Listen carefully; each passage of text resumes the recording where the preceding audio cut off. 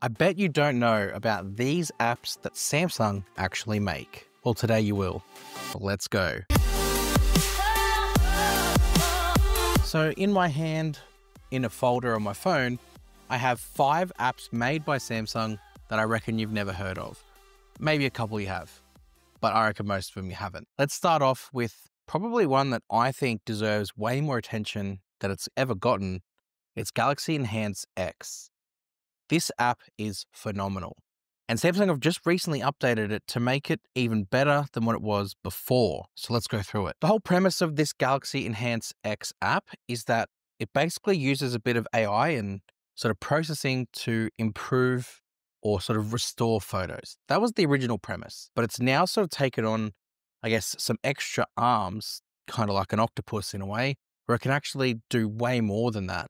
And sometimes even sort of turn videos into like little moments. Let's go through some of the things that it can do. First thing, I guess, before any of that is let's download the downloadable features that are here. This is the new stuff they've just added. When you click on downloadable features, it brings up two modules, which means that over time, Samsung can add more. What you've got here at the top is Sky Guide. So if you've got a photo of like the night sky, it can help sort of guide where the stars and what you're actually looking at. Then you got camera shift. And the camera shift one is designed if you have sort of people in a photo and you want to shift the perception of how they appear in the photo, the camera could sort of shift to make them appear bigger or smaller depending on the landscape that they're in. That's two downloadable ones, and you just go in there and download them. You can sort of swipe through at the top to see some of the extra stuff that it can do, like fix blur, single take, where it can turn like little video clips into a single take file, which is phenomenal, but let's load in some pictures or videos and sort of see the options. When you select your picture, so let's just do a photo first, you go into the gallery and you sort of find the photo that you want to fix. So for example, this one here of sort of my son jumping up and down, sort of slight blur on the face. Now you can see all of the options and the toggles down the bottom. You've got things like suggestions, which sort of use AI to detect the photo and give you ideas of what it is you should fix or add, like whether you want to make it a portrait, whether you want to fix blur or the camera shift. There's also a magic button. If you hit this magic button, it will just automatically apply all the stuff it thinks it needs and then show you a little before or after in the slider. Really clever. Then you can sort of toggle through color tone. You've got quick fixes, you got face, you got creative. So you can turn like a time lapse or something along those lines. And that can work for certain types of photos. So if you've got a photo of like the night sky or the daytime and it's a landscape, you doing a 24 hour time lapse makes it look really good. Not really designed for like photos of like my son, but for photos of landscapes, it's actually really, really cool. So you've got a whole bunch of different sort of effects that you can add in, and it just basically does what it does, enhances the photo. You also can take motion photos and turn them into single take. I think this one is genius. If you've taken a motion photo, and the way motion photo works is it records little clips here or there, either side of the photo being taken. The motion photo will actually be saved as a video clip. And then what this app will do is it will extract that video clip and then extract frames from it and then turn it into a little album of photos. Love this option. Also, one that I've literally just discovered here, it's called Motion Clip, where it'll actually extract a little clip of the motion photo, turn like it into a moving sticker. That's amazing. Love that sort of stuff. But it's not just photos that this app works with too. It's also videos. So if you select a video, you get the single take option where it will take a portion of that video and sort of extract moments out of it, great. Again, love that because if you don't take a single take initially, you can just go back and do it this way. There's also an option to make it like a long exposure, which for the right type of video, like whether that be a video of moving cars, whether that be a video of sort of a landscape with like running water, you can turn that into a really beautiful sort of long exposure photo almost. And it just looks really good. It's just a really powerful app and I think Samsung, by the looks of things, are going to keep increasing its functionality. It's definitely one you should use and download. The next app I want to go through is Samsung Food. Now, this wasn't always a Samsung app. I believe Samsung acquired this app, but it's a Samsung app all the same now. Effectively, this is, I kind of want to say, like a community for recipes and for meal planning.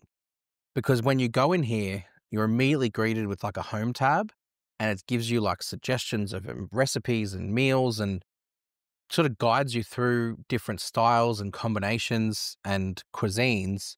And then you can access it straight from there. It's also got communities. So, like, you can join groups for certain styles of cuisines or styles of meals. So, whether that be quick dinners, whether that be Italian, whether that be pizza, it's really niche down and you can kind of become part of it. Also, when you sort of go into this app as well and you sort of go through the tabs at the bottom, you have an explore tab, which is almost like a social media feed for recipes and food.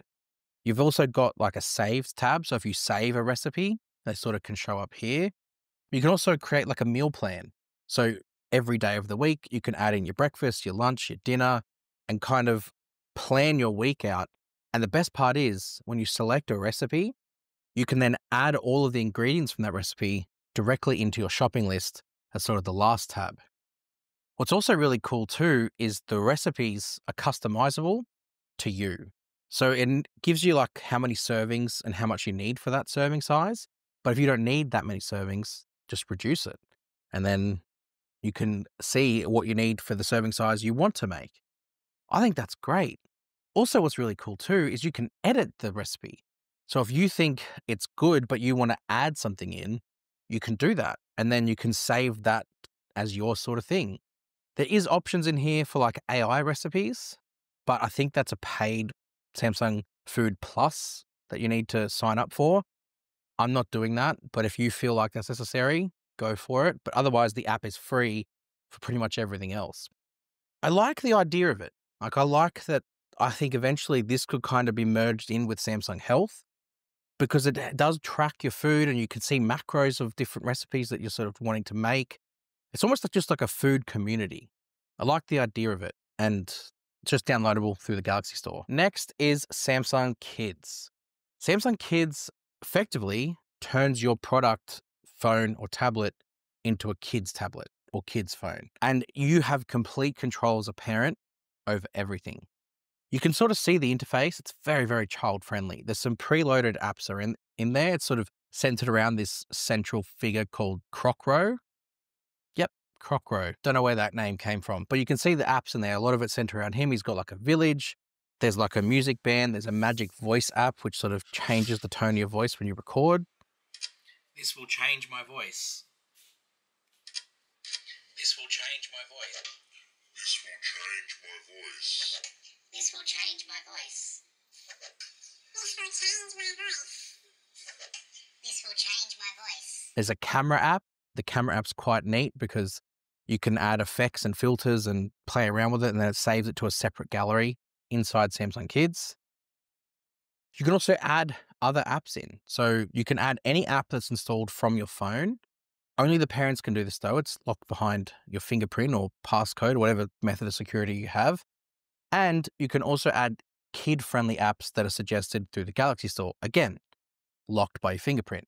I actually really like how this works because when the kid goes into Samsung Kids Next, there's like a little present and they tap on it and they'll see sort of the app unwrap primer. And it's pretty neat. And it gives them a bit of a fun sort of experience behind it. But then there's the parental control side of things where you can go in and control how long they get access for, the screen time for each day. So it's not just overarching, you can control each individual day. It's really sort of granular. And then when it's time to exit out of kids mode, they need the fingerprint or the phone's passcode to do so. So if you have kids that you give your device to, rather than just letting them access the Play Store to download things, try putting it into kids mode if they're, you know, age appropriate for it and let them play with stuff through here instead. I think it's a good option and it's available on pretty much any Samsung phone or device. Then we have PenUp. PenUp, I think this is probably more of like an S Pen related app. I have spoken about PenUp before. I feel like it goes a little bit underappreciated within the Samsung community because Samsung have effectively made social media for creatives or for people who love to draw and express themselves artistically. The PenUp app, I guess this is kind of like Samsung Food in a way, just for drawing. You've got a whole bunch of different tabs down the bottom. You've got people that post sort of their drawings and sort of to communities and challenges, I guess, as well as drawing challenges built into here too. But the main sort of aspect of it is well, there's a couple of different aspects of it that sort of are the pillars of it. There's coloring. So you can like color in and it's quite soothing or sort of calming if that's sort of something you like to do.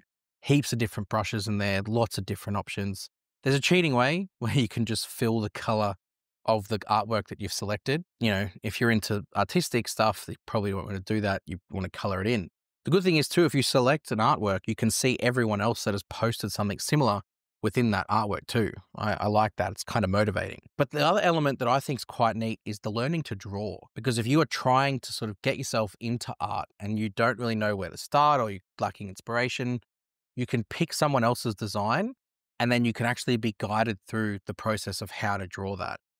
What's really good too with this is that if you sort of are starting to draw, it'll change the brushes depending on what it is that's needed. So if you're coloring in with like a red color and a certain type of brush, it'll sort of stay there. And then when it changes, it automatically changes. You don't have to think about what it is you need. You can change that, but I think it's quite good if you're learning initially to start there. You've also got the option to boost the speed if it's a little bit too slow. But along the way, you pause it, you sort of color in, and then you press play and you sort of follow along. And there's options to change transparency and layers, etc.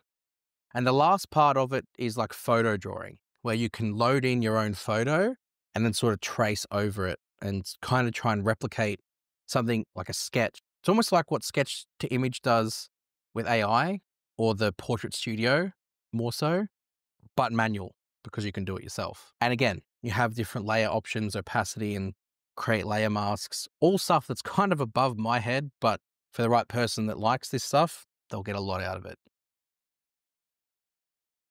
And the last one is a module that sits inside GoodLock called Registar. For the people in the know about GoodLock, you'll know what this is. But for those who aren't, one, go download GoodLock, soon to be available on the Play Store, but for now, the Galaxy Store, and then download a module called Registar. The Registar module allows you a couple of different things, big things, in my opinion. The first one is the ability to adjust the settings menu. So if you think Samsung's settings menu is a little bit too convoluted or you're not happy with where things are placed, you want to access things that you access all the time a little bit more frequently, then you can go in here and drag and drop the settings that you want to be grouped together yourself, whether that be battery, next to device care, or if you search software updates all the time, move the software update one up. A whole bunch of things you can sort of move and sort of place anywhere you want to have it the way you want. But if you don't like it, you can always go and reset it back in Registar. The second part to Registar that I think is the most important is the option to add like a back tap shortcut. Now, I know iOS sort of started this a little bit, but Samsung sort of opened it up with Registar quite a lot because in here you can do a double tap to, for something or a triple tap for something. So a double tap you could have to maybe take a screenshot and then like a triple tap have it to open an app. And then it works quite neatly, but you can configure it sort of any way that you like. You also can customize the press and hold for the power button too. Initially, it's not much. It's just either Google Assistant or power off. Whereas now you've got the option for it to be pretty much anything, like maybe even turn on the flashlight should you wish. And this is where you can do it. They are five Samsung apps that you may not be using or have heard about before, but hopefully you have now. If you haven't heard of any of them, let me know. If you have, let me know. But hit subscribe for more Samsung content like this. This is the stuff I really enjoy making and educating people on. And I'll see you guys in the next one. You.